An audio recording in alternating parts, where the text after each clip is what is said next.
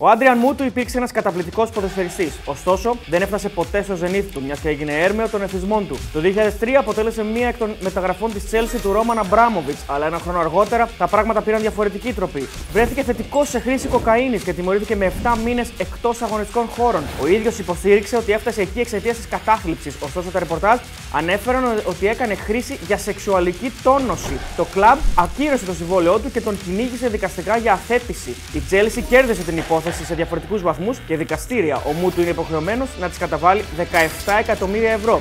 Μέχρι στιγμής δεν έχει δώσει ούτε ένα. Τον Ιανουάριο του 2010, όντας πλέον παίκτης της Φιωρεντίνα, βρέθηκε ξανά θετικό σε απαγορευμένες ουσίες και του επιβλήθηκε αποκλεισμός για 9 μήνες. Λίγο πριν λήξει η ποινή του, ο Μούτου έδιρε σερβιτόρο σε εστιατόριο της Φλωρεντίας, κάτι που δεν του συγχωρήθηκε με αποτέλεσμα να αποχωρήσει.